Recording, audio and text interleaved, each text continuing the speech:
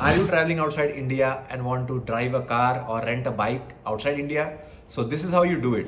You need a IDP or international driving permit on top of your Indian driving license and then you are ready to go.